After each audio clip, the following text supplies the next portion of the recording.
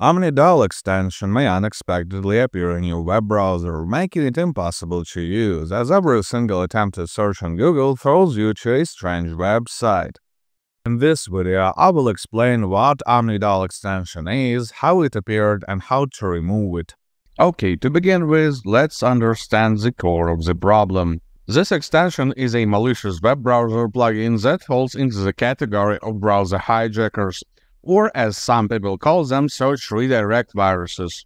Their purpose and main symptoms are in the name to take control of the user browser and route all the queries to another search engine, one that the fraudsters need. So let's proceed with the removal because people are desperate to get their systems back to normal. To get rid of the Omnidol extension automatically, an anti-malware scan is needed. For that purpose, I recommend using GridinSoft Anti-Malware. It is a highly efficient malware removal tool that will find and remove even the most modern and sneaky malware, leave alone browser hijackers. Download it by the link in the video description and run a full scan, so the entirety of your system will be checked for malware. The process will take 10 to 15 minutes. As the alternative option, you can try the Loaris Trojan Remover program. This antivirus has less fancy functions, but still does the job and will make your system free of any browser hijackers in just a few minutes.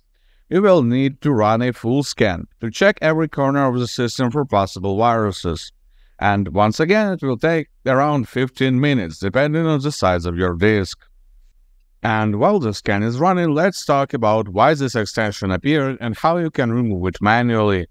The most common way for such junk browser extensions to get into your system is through malicious ads on the web that often appear due to the adware activity in the system. While casually browsing, you could have encountered a banner that says, quote unquote, install this recommended extension to view the content. And that is it. Crooks simply bait people into installing questionable browser extensions, which further end up with all the symptoms. What malicious extensions do is intercepting your search queries and directing them to another search engine. This may sound like not a big deal, but during the redirect, the website that the extension throws you to collects user information, usually what you have requested, your IP address, location, language settings, and so on. All this data is further sold to advertisers without your consent. One more risk hides in the search results of these dubious search engines.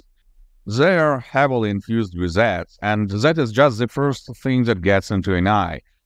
Though a much bigger problem is that during the aforementioned redirection, there may be an intermediary website that adds more parameters to the query, this eventually allows them to alter the results and make phishing sites appear on the search page. Okay, it is clear now that the hijacker extension is not a good thing to have in the system. Now let's discuss how you can remove the thing manually. The most obvious way through the extension tab just would not work, as during the installation this extension tinkers with registry keys of the browser. As a result of this, you see the infamous Manage by Organization line. Reverting this line so you can consequently remove the extension will require going through registry keys and deleting the one responsible for the problem. You see them now on the screen, and I will duplicate them to the video description. The problem with all this manual removal stuff is that the source of the problem, actually the adware, will remain in the system, so there is a high chance of the problem getting back with time. That is exactly the reason why I recommended the automated removal method first. GridinSoft Anti-Malware will not just delete the plugin, but also wipe out the adware and fix all the changes that it did to the system. And while we were talking, GridinSoft Anti-Malware finished the scan. To clean up the detected malicious files and extensions, click the Clean Now button. As there may be quite a lot of detected files, their removal may also take some time. Now the system is clean. Good luck and stay safe online.